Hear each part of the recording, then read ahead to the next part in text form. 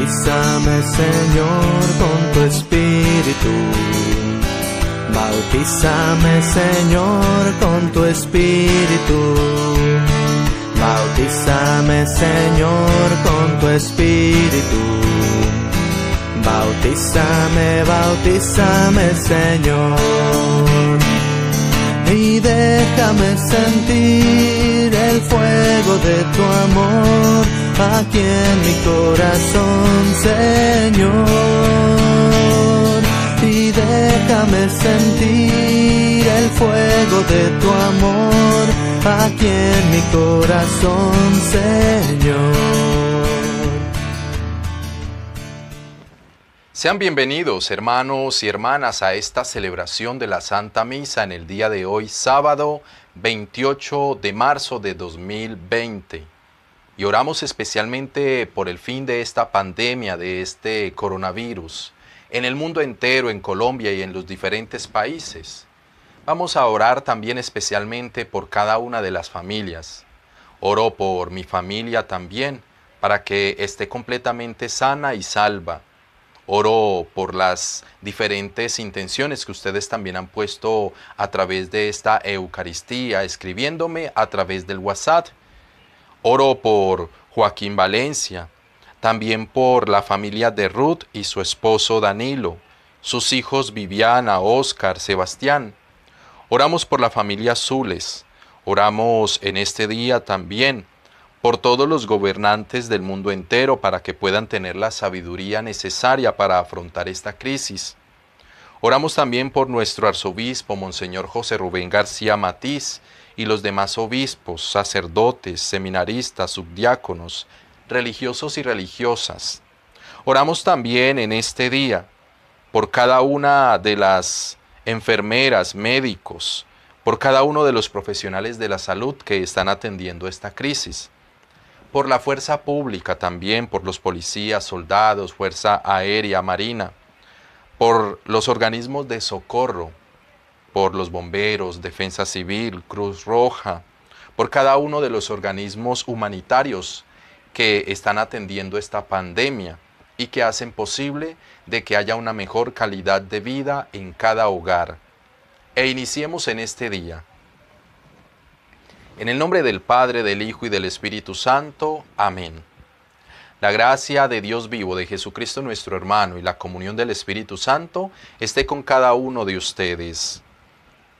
Hermanos, antes de iniciar, pidamos perdón a Dios diciendo, Yo confieso ante Dios Todopoderoso y ante ustedes, hermanos, que he pecado mucho de pensamiento, palabra, obra y omisión, por mi culpa, por mi culpa, por mi gran culpa. Por eso ruego a Santa María siempre Virgen, a los ángeles y a los santos, y a ustedes hermanos que intercedan por mí ante Dios nuestro Señor. Dios Todopoderoso tenga piedad de nosotros, perdone nuestros pecados y nos lleve a la vida eterna. Amén. Señor, Señor, Señor, Señor, ten piedad de nosotros. Señor, Señor, Señor, Señor, ten piedad de nosotros.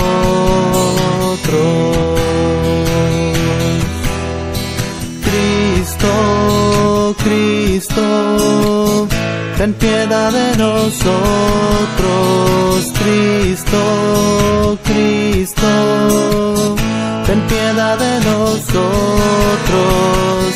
Señor, Señor, Señor, Señor, ten piedad de nosotros. Señor, Señor, Señor, Señor, ten piedad de nosotros.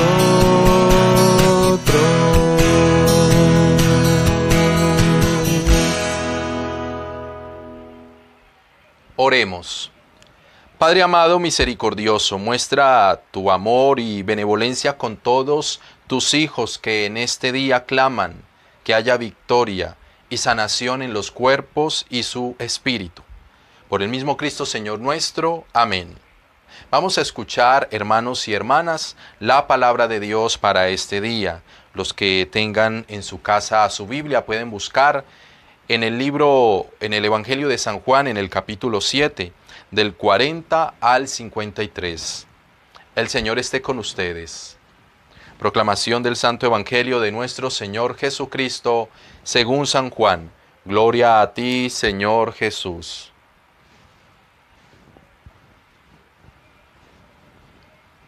Algunos de la multitud al oír a Jesús decían, seguramente este hombre es el profeta que estábamos esperando. Otros discutían si este era el Mesías. Otros simplemente se expresaban y decían, no puede ser este acaso el Mesías, viene de Galilea. Pues las escrituras dice que el Mesías debe de nacer en el linaje real de David, en Belén, la aldea donde nació el rey David. Así que hubo división entre la multitud a causa del mismo Jesús. Algunos querían que lo arrestaran, pero nadie se puso en ese camino hacia el arresto. Cuando los guardias del templo regresaron entonces para avisar que no habían arrestado a Jesús, los fariseos, los principales sacerdotes, todos se preguntaban, ¿por qué no lo trajeron? Ellos decían, no hemos visto en ninguna parte un hombre que hable así como este. Así que los fariseos se burlaban y decían, ¿Acaso ustedes también se dejaron contagiar? ¿No ven que este no es el Hijo de Dios? Es un blasfemo. Así que uno de los principales, Nicodemo, que era líder, le dijo a ellos, no hemos visto a otro hombre igual que este. Además, ¿es legal condenar acaso a un hombre sin darle la oportunidad de defenderse? preguntó. Entonces ellos decían, ¿eres Galileo? ¿Acaso no sabes que las escrituras dice, y compruébalo tú mismo, que jamás ha salido un profeta de Galilea? Palabra del Señor. Gloria a ti, Señor Jesús. Nadie ha salido de Galilea como profeta. ¿Acaso ha salido algo bueno de ese lugar? Este Evangelio en el día de hoy nos muestra cómo los fariseos se sentían acorralados porque el mismo Jesús mostraba prodigios, mostraba milagros y mostraba maravillas patentes que ni siquiera ellos podían hacer. Y era lógico que la envidia, era lógico que esa enemistad que ellos tenían con Jesús se veía reflejado en cada acción, en cada palabra que ellos tenían. Y siempre esta palabra que ellos usaban iba en contra de ellos mismos porque Jesús no necesitaba hacer nada para darse a entender a la multitud. Y en esta ocasión nuevamente es uno de ellos, Nicodemo, quien sale a relucir que este hombre tiene realmente el linaje de David, aunque ellos simplemente no lo querían reconocer. Ahora bien, hermano y hermana, en esta situación en la que nosotros nos encontramos, es muy fácil que se nos olvide quién es Jesús y se nos olvide reconocerlo como Salvador nuestro. ¿Por qué? porque viene la desesperación, la tristeza, porque viene el estrés, porque viene la desesperanza, la falta de fe. Y es muy fácil que nosotros también perdamos la cabeza y digamos, este no puede ser realmente mi Dios, el Mesías al que tanto he esperado. Porque a veces queremos que los milagros sean patentes, que sean rápidos e inmediatos. Pero no nos damos cuenta que el tiempo de Dios es diferente al tiempo nuestro. El tiempo de Dios es perfecto. Y tal vez lo que nosotros hemos pedido en este momento y no se nos ha dado es porque tal vez no es el momento apropiado. Por ello, hoy en este día, hermano y hermana, entrégale al Señor esa dificultad que tienes para que sea Dios dándote ese ánimo, dándote esa fuerza, esa luz, esa esperanza que no se debe de perder en ninguno de nosotros si creemos en Cristo. Más aún en estos tiempos en los que nosotros estamos viendo tantas dificultades en el mundo entero donde muchos estamos viviendo una cuarentena para poder salvar nuestras vidas y salvar la vida de otros. Pero aún así el Señor nos permite conectarnos a través de este medio para que así podamos también compartir entre hermanos la palabra de Dios como nos habla Hechos de los Apóstoles. Y se reunían y compartían el pan. Aunque en estos momentos, hermano y hermana, no estamos presencialmente, pero sí estamos espiritualmente y virtualmente en cada hogar y en cada celular, en cada computador o tablet donde ustedes puedan retransmitir esta palabra de Dios en el día de hoy. Es importante que reconozcamos quienes vienen de parte del Señor. Porque muchas veces le cerramos la puerta al otro porque decimos que éste no puede darme nada, porque este tal vez ese mensaje que está dando no me interesa. Pero en estos momentos difíciles es donde más nos tenemos que acercar a Dios. No importa hermano a qué religión o a qué iglesia pertenezcas, acércate a Dios y entiende que Dios es el camino, la verdad y la vida, y si creemos en Él tendremos vida eterna. Tal vez este cuerpo mortal se pueda desgastar, tal vez este cuerpo mortal pueda destruirse, pero no vamos a dejar que el espíritu maligno atente contra nuestra vida y contra nuestro espíritu. Es importante también entender, hermano y hermana, que en estos tiempos difíciles es donde más tenemos que buscar la presencia del Señor y lo podemos encontrar a través de la Santa Misa y escudriñando la Sagrada Escritura. Hoy en este día, hermano y hermana, vas a entregarle todo a Dios para que Él sea el que te guíe, para que Él sea que te transforme y te llene de fe y de esperanza. Porque si creemos en Cristo, nada ni nadie podrá, derrotarnos. Hermano y hermana, todo lo vamos a dejar en manos de Dios en este día. Sigamos con nuestra celebración eucarística.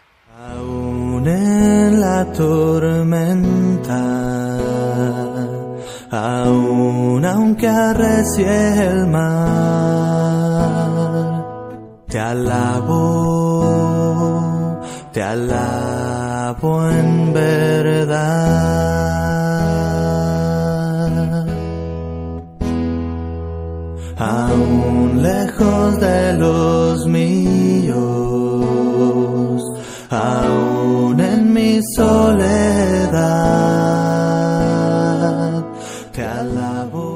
Oremos para que este sacrificio que es mío y de ustedes sea agradable a Dios Todopoderoso. Que el Señor reciba de tus manos este sacrificio para alabanza y gloria de su nombre, para nuestro bien y el de toda su santa iglesia.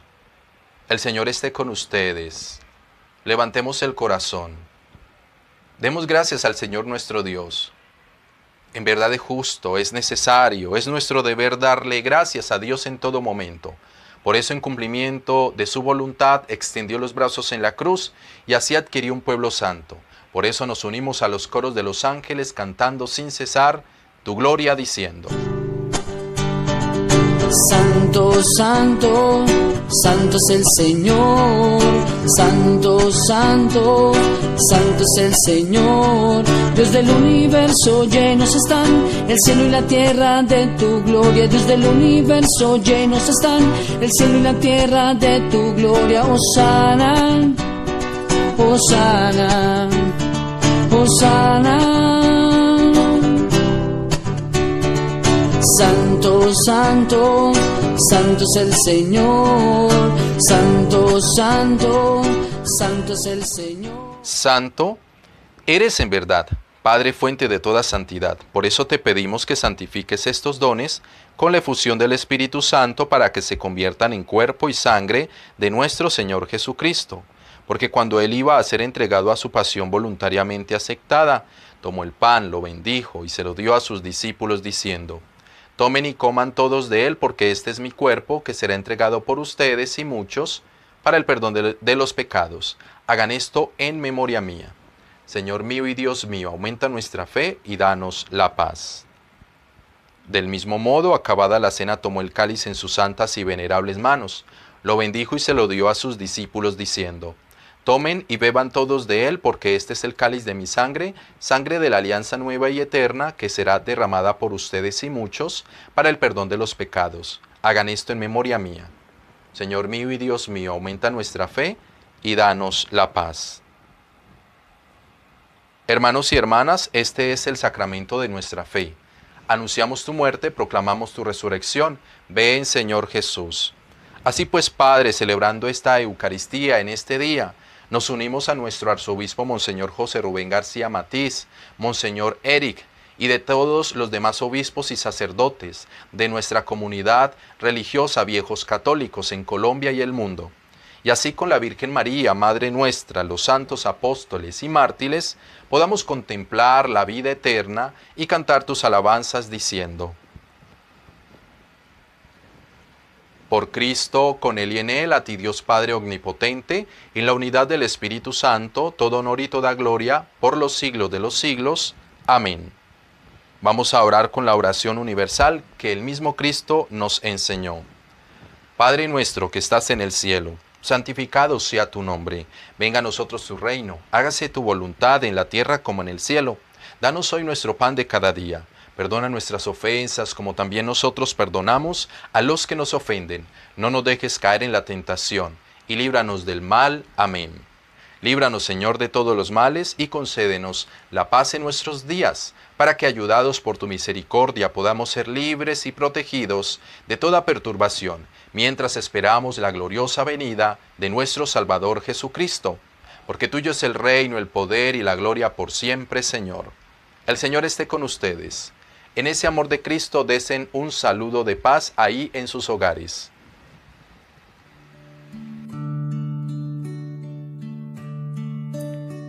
Cordero de Dios, que quitas el pecado del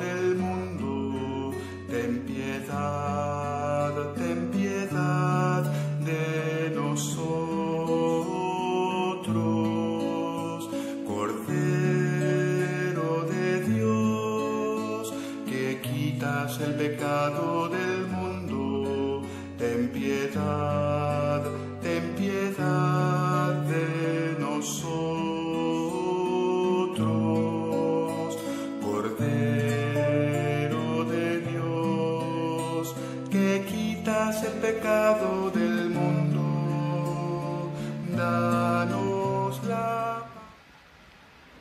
Este es el Cordero de Dios que quita el pecado del mundo. Dichosos los llamados a la cena del Señor. Señor, no soy digno de que entres en mi casa, pero una palabra tuya bastará para sanarme. Que el cuerpo y la sangre de Cristo guarde nuestra alma para la vida eterna. Amén.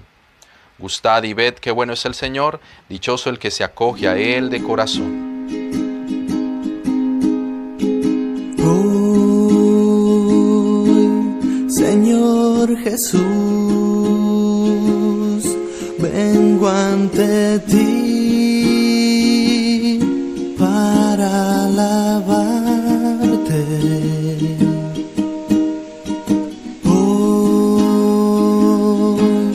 Señor Jesús, con tu poder puedes cambiarme.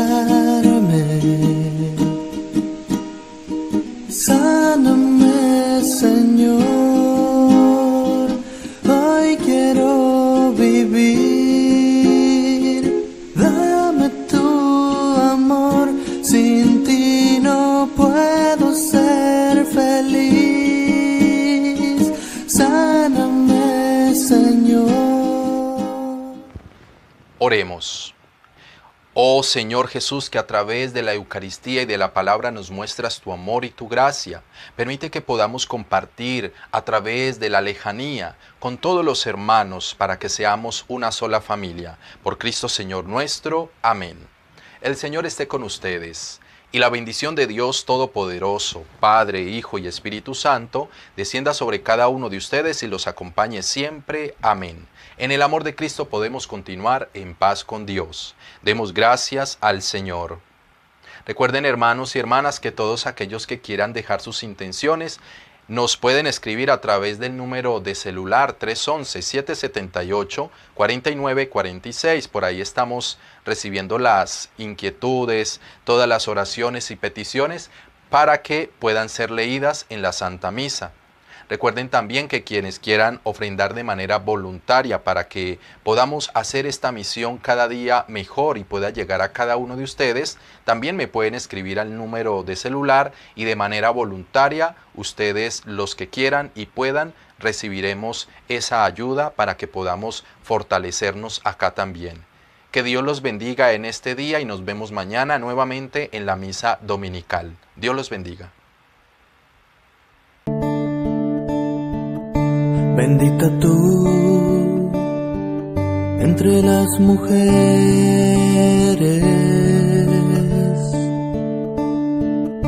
Bendito el fruto de tu vientre. Dichosa tú, pues has creído que se cumplirá lo que el Señor